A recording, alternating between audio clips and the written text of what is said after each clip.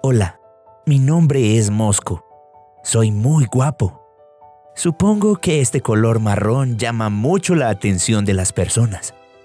Además, soy muy tierno y tranquilo.